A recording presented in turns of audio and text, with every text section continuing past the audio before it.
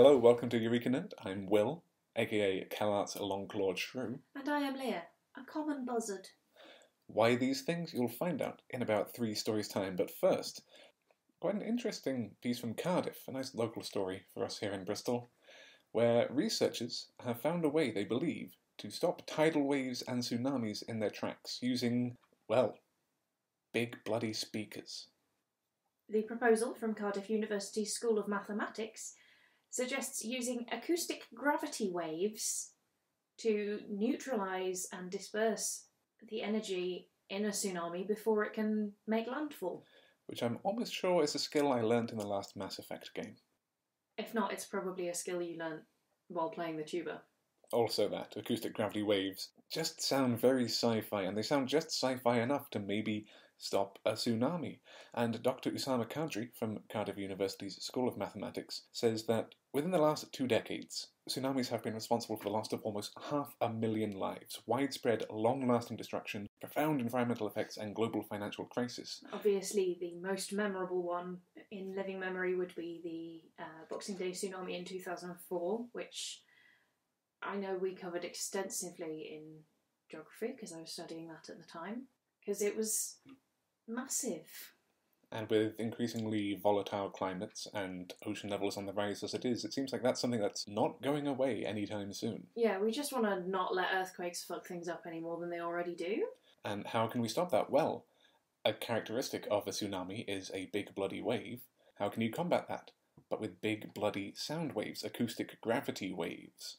Now, these are already a phenomenon that is found in the oceans. They can measure tens or even hundreds of kilometres in length and are probably one of the ways in which plankton, the microscopic flora and fauna of the ocean, move themselves around. The idea is to use AGWs, these ground waves, to almost cancel out the wave propagated by the earthquake, which generates a tsunami. It's kind of like uh, if you've ever done any acoustics where you put two opposing sound waves, they cancel out each other. Apparently, it's used in airplanes a lot to cancel out the engine noises. They play it back at an inverted frequency and it neutralizes in the middle. A little acoustic fact for you there, which is why also, if you stand closer or further away from speakers, the noise that they're playing will get louder and then quieter and then louder again if you're standing between the wave. Which is all well and good if you're just out for a rave, but using it to cancel out tsunamis is almost a better use of your time. Dr. Kadri has conceded that we don't quite have the necessary equipment for this yet, but it's probably something that lots of people are going to start looking into after the Boxing Day tsunami and uh, the issues with Fukushima nuclear plant. Of course, to generate the kind of waves that you need, like the magnitude 9 earthquake from 2004, uh, released as much surface energy as uh, 1,500 times that of the atomic bombs dropped on Hiroshima. So, to cancel out that wave, you're going to need an equal amount of energy. Which leads to the conspiracy theory of putting atomic bombs on fault lines to generate tidal waves, which is a genuine thing. Don't look it up, it'll make you sad, but it's a fear. People have that fear that the government is doing that, despite the fact that it would take thou- it would take every nuclear bomb in Well, the I- American arsenal I mean, I'd it. be I'd be more interested in the uh, the dastardly things the government are actually doing, but um, Looking at you, chemtrails. It- no, no, we're not. We already discussed this. They don't exist. Oh yeah, Moving on from acoustic gravity waves to sound waves, songs, music. Here in our flat, we're constantly singing songs, mostly the Hamilton soundtrack. And the Moana soundtrack recently, Lin-Manuel Miranda has had some impact on our lives, and indeed, what might have a big effect on how musical you are, on how early you become aware of music, might have something to do with the language you speak. Specifically, Mandarin Chinese and children who learn it as a native tongue, or young children between the ages of 3 and 5, are much better than purely English speaking counterparts at processing musical pitch. Now, this should be unsurprising if you know anything about Mandarin as a language, because of the way that pitch and intonation make a huge difference on the meaning of the actual word you speak, to the point where I think it's embarrassingly easy for non native speakers to communicate catastrophically badly.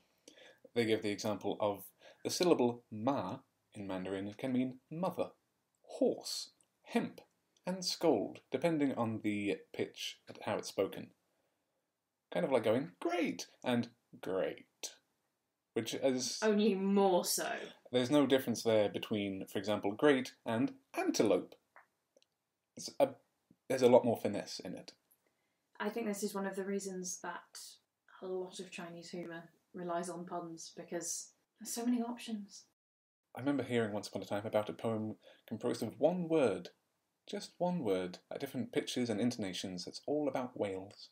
So, if your primary mode of vocal communication with the people around you relies basically on being able to sing to some extent to be able to make yourself understood and being able to interpret other people's pitch and intonation to that level of precision, it's not really that surprising that Mandarin speaking toddlers would have a much better grasp of basic musical principles than, for example, English speaking toddlers. Just to note that research has come out of the University of California, San Diego. It's published in Developmental Science. And now, from something that makes a lot of sense if you think about it, to something that makes so much sense you shouldn't have to think about it, I'm just going to quote the title directly here. Researchers list reasons to not lick a toad. Now, this is the reason for our animal epithets at the top of the episode. The research is specifically looking at the toxic and potentially medicinal compounds produced by animals of the order Bufonidae, who are toads. And one notable member of this order is Bufo bufo, the common toad, the kind you might find in your garden, you know, green and warty. So our animal epithets were also tautologically named. So you heard me introduce myself as Kelaart's Longclawed Shrew, aka Feroculus feroculus. And my common buzzard is Buteo buteo. Other fun tautonym names include Hoolock hoolock, or the western hoolock gibbon, and Myospalax myospalax, the Siberian zokor, a name which gives away nothing. We uh, looked up a list of these the other night when we were researching, just because it's great fun. But anyway, toads. Bison bison, Anyway, toads. gorilla gorilla, And gulo gulo. anyway, toads. Why would you lick a toad? Is probably the main question. It should be the only question in regards to this science. Why lick toads? Except that as a species, humanity has got a habit of trying anything to try and get off our faces, and it turns out licking toads is one of the many ways we have discovered. Mushrooms I can understand, plants I can understand, but toads? Toads? If you've seen your dog go weird after chewing on one once, or you grabbed one and then put your fingers in your mouth and had a really exciting trip, I can see how it would catch on. Humans and getting off our faces, it's a thing. But seeing as there are many other toads where if your dog chews on them, the dog dies. If you put your fingers in your mouth after handling them, you die. There's a lot more deadly toads out there. I mean, not in our backyard for sure, but still, that is not a 0% chance that the toad you could be licking will kill you. And that's why it's useful that these researchers have meticulously listed all the many exciting psychoactive compounds. They reckon 47 frog and toad species are used in traditional medicine, 15 of those belong to family Bufonidae. The remedies that this traditional medicine has employed them for have included infections, bites, cancer, heart disorders, hemorrhages, allergies, inflammation, pain, and even AIDS. I'm still going to come back to this quote from Candelario Rodriguez, researcher at Indicasat and first author of the review Toxins from a single frog skin can kill 100 to 1000 mice. The mechanism of action is to reduce cardiac rhythm. It affects your heart rate, which to me sounds like a great way of dying. But some of these compounds are actually useful in the treatment of cancer. They can be employed for chemotherapy. And also, a vast number of these species are very threatened. There's um, the chytrid fungal disease, which is tearing through amphibian populations even as we speak. There's a lot of work going into trying to prevent it spreading. Well, that's fair because the only thing that offends me more than the idea of licking a toad is mushrooms. So I guess I'm on board now. A lot of these species don't produce the same compounds when kept in captivity because they're producing them from other plants and animals that they're feeding on. Well, if you're the kind of person that is going to try and categorize toads by lick, then hopefully you're not doing so before the age of 17.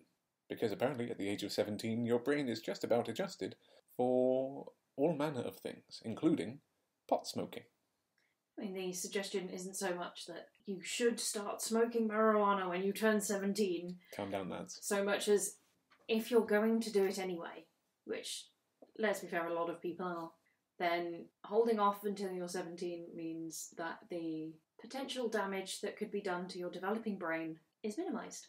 And this is research coming from the University of Montreal, and author Natalie Castellanos Ryan, assistant professor in the School of Psychoeducation, notes that these results suggest that, in addition to academic failure, fundamental life skills necessary for problem solving and daily adaptation may be affected by early cannabis exposure, but that by delaying it till 17, adolescents who start using cannabis perform equally well as adolescents who don't. These tests included a set of cognitive tests looking at high school dropout rates. So, adolescents who started smoking at 14 did significantly worse on these tests by the time they were 20 than their peers who didn't smoke and were much more likely to drop out of school. She does note that you can't tell kids if you smoke cannabis you're going to damage your brain and massively ruin your life, Even though they are, potentially. potentially, but that they're finding evidence that there are negative effects related to cannabis use, especially if you start early, so hold off as long as you can. And then, guys, just, you know, have some awareness that the psychoactive substance you are using at any point in your life is going to be having an effect on your brain more long lasting than you might think. Yeah, the only thing we can really ask of people, because as we discussed a little while ago with the study of use of tanning beds, people will do things regardless of whether they know it's bad for them, but you have to make sure they're making that informed choice. And speaking of informed choices, we're moving on to something that we would like to be more informed about. If you're out there and you're a physicist listening to this, please help us to because understand. what? This sounds like a story that would come up if you were busy licking toads and doing underage cannabis. I don't know if it counts if if you're underage because I'm 27 now, but the idea holds true. It seems important that you should have done something that's that's in some sense psychedelic before you can even come up with an idea like this, but you know, the cutting edge of physics is Indistinguishable. super weird. It's okay. I'm just going to dive right in with the title then. Scientists unveil new form of matter. Time crystals. So this is not the inert sort of crystals you think of, even diamonds, even salt or sugar crystals, where essentially the molecules are holding together in a locked pattern. And these are crystals built to have a structure that repeats in time. It also sounds like a film that the Jim Henson Workshop would have been involved in, which would have had a really bleak ending where your parents get turned into coal. Do you, do you not remember that? That film upset me. You mean Time Bandits? Because that was Yeah. almost entirely Terry Gilliam. And we can't expect anything sensible of Terry Gilliam. That's, that's fair. That's fair. So, yes, let's just power on with the words of Norman Yao. Time crystals repeat in time because they are kicked periodically, sort of like tapping jello repeatedly to get it to jiggle. That quote doesn't make this make any more sense.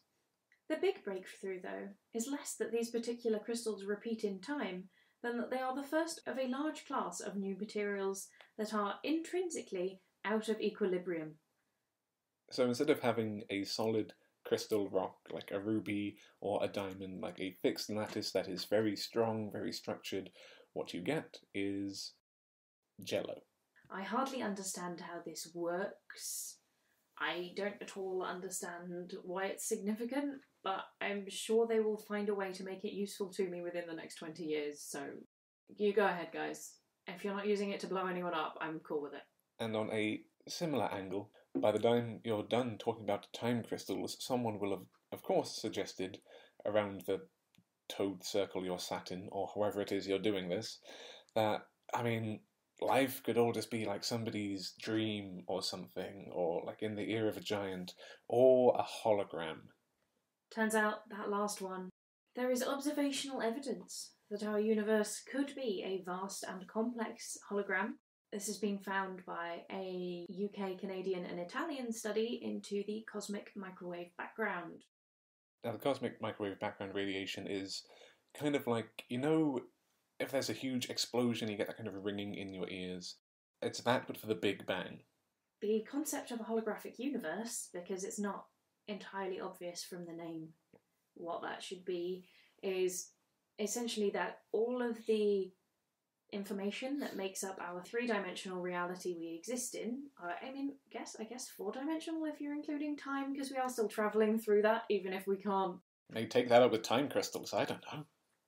but yeah the reality we live in may all be encoded on a two-dimensional surface like the holograms on your credit card or something At this point, I can already hear Matthew McConaughey from True Detective in my head going, Someone once told me time is a flat circle. I mean, I know that you can make um, holographic lenses. For example, you you in, encode the depth and curvature of a three dimensional lens onto the two dimensional thing, and it behaves the same way. It's like wearing 3D glasses when you go to the cinema. It's like having a Nintendo 3DS where the picture is just slightly out of alignment enough so then you look at it, your eyes go a little bit cross eyed, and boom, you got 3D. Like that, but for the entire, universe. 2D projecting up into 3D that we experience in 4D on our day to day lives, just going about your business. Of course, since whether the universe is holographic or not has literally no impact on how we will interact with it on a day to day basis.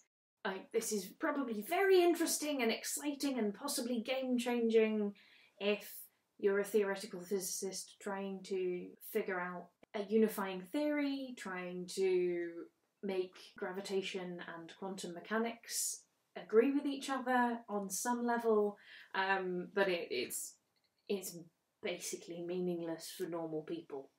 I'm tempted to utter the phrase indistinguishable from magic, but I'm sure if we do, then a physicist will burst in from offshore and start bludgeoning me with a folding chair like in WCW. But I mean, if a physicist does want to try and help us explain this, because I mean, you're a biologist. I stopped studying science at A level. Up until the point of telling you to not lick toads, I am not a voice of authority on anything. So, moving on to something that does actually matter for people's very immediate future and changing the perceptions thereof. You know, climate change? That thing that is definitely happening? Pretty much everyone who isn't in the pay of an oil company agrees about, yeah.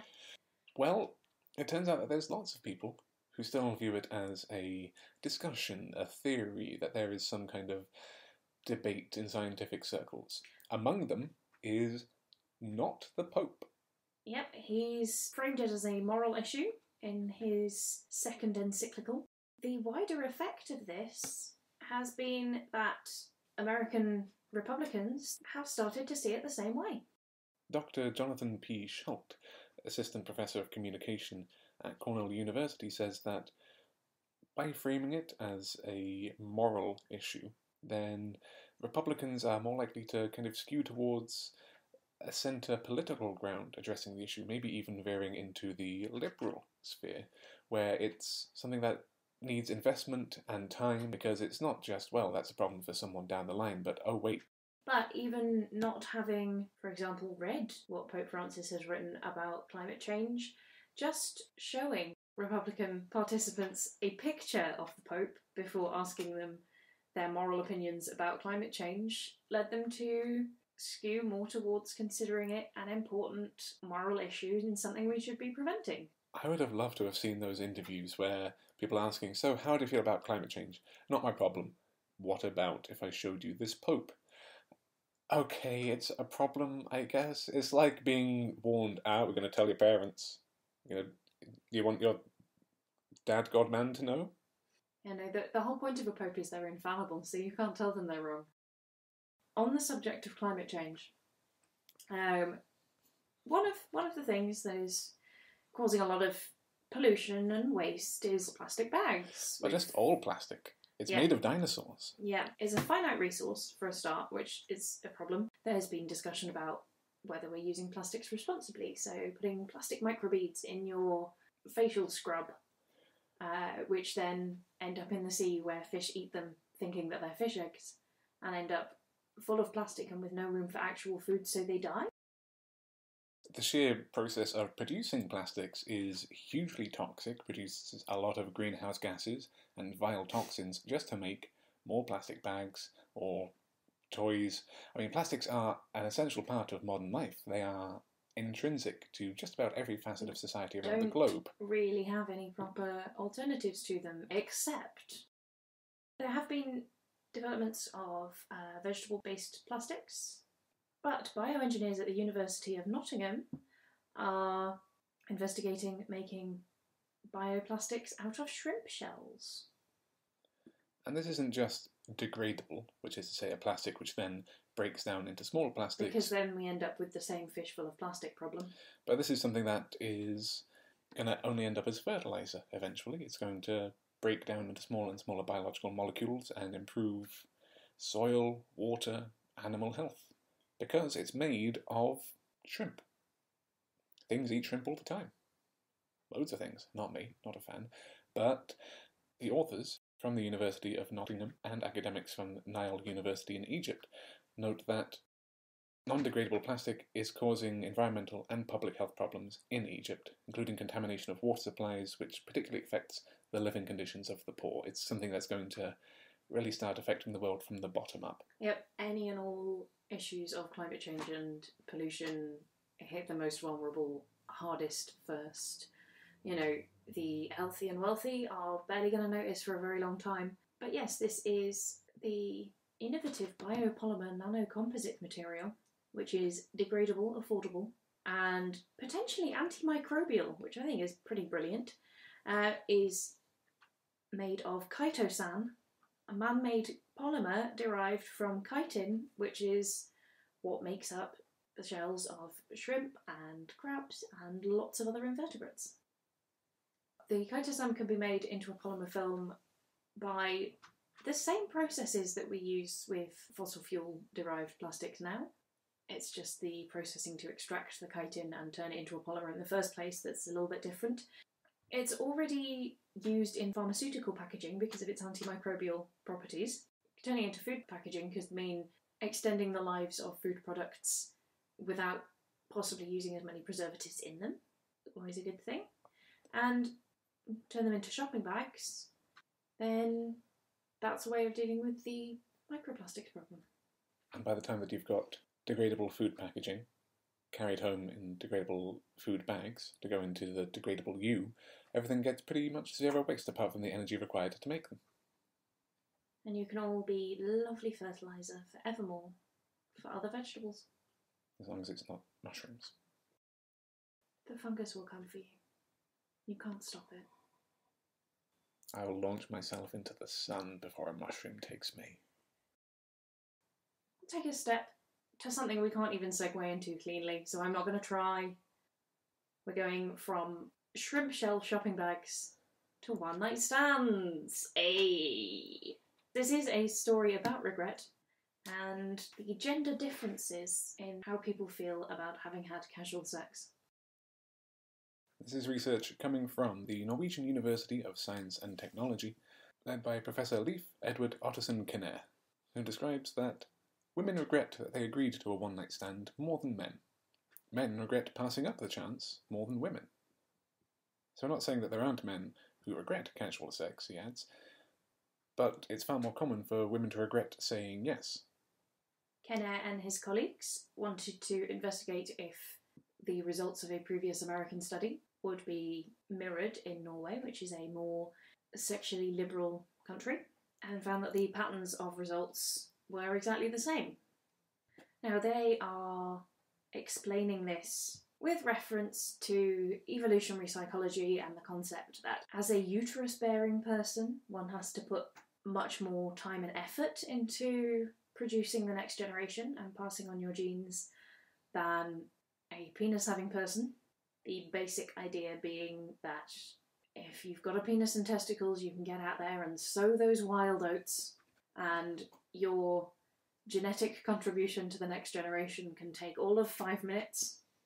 But since there's stuff coming out all the time about how all the things that are described as fundamental differences between men and women, the way we think, we the way we react to things, the way we feel, there's significant evidence to suggest that that is not in any way biological and then is entirely cultural and psychological. So I'm kind of feeling like going down the evolutionary psychology route might be pointless. Short sighted? Possibly, yeah. They have mentioned that one of the reasons might be that women are much less likely to have a good time on a one night stand than a man is. We do get some interesting quotes here from Dr. Buss, one of Dr. Kennair's colleagues, who notes that many social scientists expect that in sexually egalitarian cultures such as Norway, these sex differences would disappear. They do not. This fact makes the findings on sex differences and sexual regret in modern Norwegian people so fascinating scientifically. I think that whilst Norway could be very sexually egalitarian compared to the United States, which is where they're basing the study off, there is still a culturally ingrained level of Yeah. sex shaming, for lack of a better Unless word, on women. we unless we step outside of the Western context, you're probably going to find that's very very consistent. Um, I can't say for sure, obviously, what you might find elsewhere, but I'd suggest that, for example, in matrilineal cultures, you won't necessarily find the same results depending on their, their general attitudes to sex. I mean, those are obviously the cultures who realise that there's not much point passing things down from father to son when you can't really be sure who your dad is. Whereas on the other hand, And there's another quote in this paper that female choice, deciding when, where, and with whom to have sex, is perhaps the most fundamental principle of women's sexual psychology, says Dr. Buss. Now, forgive me for asking, but isn't when, where, and with whom to have sex most of sexual psychology? pretty much the whole thing. I mean, the exception There's not really anything- how and what do you use, which is kind of how anyway. The only things that doesn't cover is if you're not just putting a penis in a vagina, what are you doing? As I'm sure we all know, there is a wide variety of ways to approach that question. And that you can take up with Google. We're not going to talk about it anymore here. And obviously, of course, it's looking entirely at cisgender men and women. No mention, of course, of trans individuals who may or may not be able to reproduce. You do get another interesting cultural context when you look at, for example, the isolated townships out in Alaska, where the amount of men to women is a much more skewed ratio, and yeah, polyamory becomes much more of a thing, where a woman will have multiple boyfriends who are like, oh yeah, I'm going to go drop my girlfriend up at her other boyfriend's house, because yeah, How much does that evolutionary psychology argument stand up when you remember that, anatomically speaking, a human penis is very, very good at scooping out the sperm deposit of the man who was there before you? And now I've had to think about that. Well, moving on from a replication study between America and Norway, we move on to the Reproducibility Project, where they're going through some of the big names in research, cancer research specifically, and trying to reproduce those studies to confirm that what we've based modern medicine on for the last however long is, you know, accurate, true, the best answer we've got given the equipment we've got now. It's kind of surprising that there are this many studies um, that they feel are kind of under reproduced in this way, being as one of the big principles of the scientific method is that you you know repeat your experiments to check your results to make sure that it's not just a fluke. And from this project, the first five replication studies have been published, conducted by the Science Exchange and the Centre for Open Science. And of these five studies, reproducibility is proving a rougher ride than they would have otherwise hoped. They've found that at least once in all of these papers, a result that was reported in the original study as statistically significant, has not been statistically significant in their replication. The teams involved went to do a huge amount of effort to make sure they really were repeating these studies to the letter, doing everything exactly the same. Which does lead to an important point of defence that what you get in the lab on that day can be just a one off, and maybe the reducibility project itself is experiencing these fluke situations. Yeah, there's there are always variables you can't control. But for a big difference, something that is completely unreproducible given multiple attempts, then that's where you start running into problems. For example, in one of these, scientists were trying to test how long it took for tumours to grow in mice after mutating a gene. The original paper said they were growing after nine weeks. In the replication, they turned up after just one week. Um, and in another, after following the first experiment as closely as possible, the replication found that untreated tumours made from the same cells as originally used spontaneously shrank by themselves, which might have, you know, some implications for whether the stuff that the original experiment was testing was actually working or if the tumours were just like, limited in their lifespan in the first place. This isn't necessarily to say that anyone's been faking their results. There is a kind of a culture which says that nice, tidy results are much better. So you know, you might leave out a few things to make your paper look that much tidier or make your more neat and sensible. And in the coverage of this from Gizmodo.com, I actually reached out to uh, one of the authors from the studies that was being reproduced, Marina Sirota from California, University of California, San Francisco, who uh, in their email reply to Gizmodo comments that we are truly impressed with how much Figure 1 in the reproducibility paper matches Figure 4c in our original paper, demonstrating the key finding that cimetidine has biological effect between saline, a negative control, and doxorubicin, the positive control, and that the p-value, the significance of this experiment, is indeed statistically significant. Because doxorubicin and cimetidine are two things which are part of chemotherapy plans all over the world. They are still being used, they are still effective, Due to a difference in initial independence assumptions and the study purpose, however, our team applied a different mathematical criteria for judging statistical significance of the findings, leading to differing interpretation of the results. This is um, an issue which may well have arisen in the write up. It's very difficult for other people to reproduce your experiments if you haven't written down absolutely every single teeny tiny thing that you did, which doesn't always happen because Scientists are human beings. And that for mathematical analysis, if you discover something over the course of a study that is significant, but the study isn't powered specifically to look for that significance, and it comes up and is useful and is interesting anyway, then sure.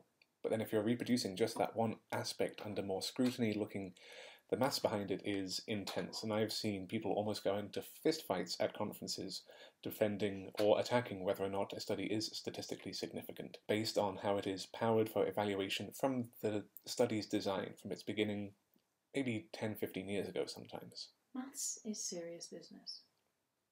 So, after a conga line of ytterbium atoms giving birth to a new form of matter, shrimp tails making new plastic bags, and the Pope watching you, knowing what you've done.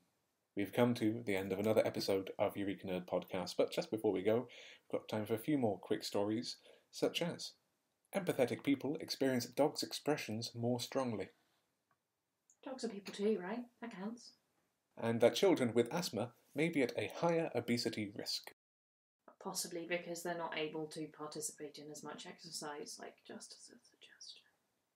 So, if you would like to tell us just how wrong we are regarding physics, or just how right we might be that obese people and asthmatic people have a certain Venn diagram between them, then you can get in touch. You can find us on Twitter at Eureka Nerdcast or email us at eurekanerdcast at gmail.com. That's eurekanerdcast at gmail.com.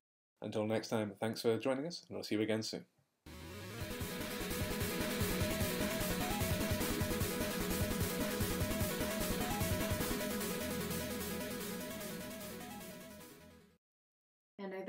Point of a pope is they're infallible, so you can't tell them they're wrong. That's the point of a pope. Well, that, and you have to look at that. because there was a female pope once. She snuck in, According ev- to legend, anyway. I don't think there's since like historical um, documentation of Pope Joan, but lady popes, if you're out there, let us know. Or any anti-popes. Those are still a thing, I think. That you can be an anti-pope. I think you have to have declared yourself a pope and be excommunicated by another pope. Things got very confusing in the Middle Ages there for a while. If you're a pope in, in exile, Christendom. if you are a mini pope, if you are a pocket pope, please let us know how you would frame this as a moral debate. yeah, pontiffs and patriarchs in general. Um, you The- don't even have to be Christian. If you're, The bigger Yeah. the hat, the better, really. do they do they have arch rabbis? I don't even know. Mega imams. That sounds like a mini boss. This isn't even my final form. The hat like expands and there's robot legs coming out of it. Mecha Pope. Giant gurus. If you are a Dark Souls phantom, then please let us know your position on climate change.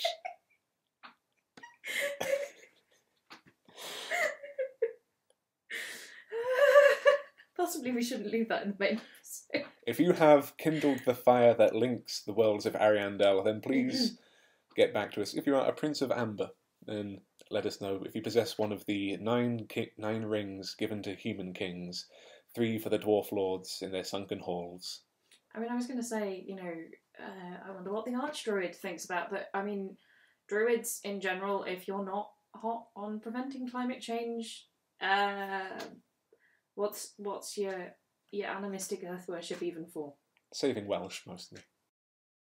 Romans had to invade Anglesey because the Druids were organising Celts to fight back, and if that's not a lesson for what we're gonna have to do to root out some of the awful shit that's happening, I don't know what is. What about that one guy who declared himself Archdruid in like seventeen something or other, started dressing Oh dressing yeah, in that green? Welsh doctor. Exactly. That was fucking wild.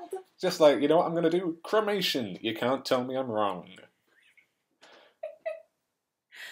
Well, I mean, you know, there's there's been all those uh, pictures floating around of the Satanists protesting Trump, and obviously, while LaVeyan Satanism is essentially a humanist, there's also a lot of theistic witches trying to organise to topple the rise of modern fascism. So Dark Lord Satan, if you are out there, please get in contact to let us know your views on climate change. You can reach us on Twitter at Eureka Nerdcast or through email at eurekanerdcast at gmail.com.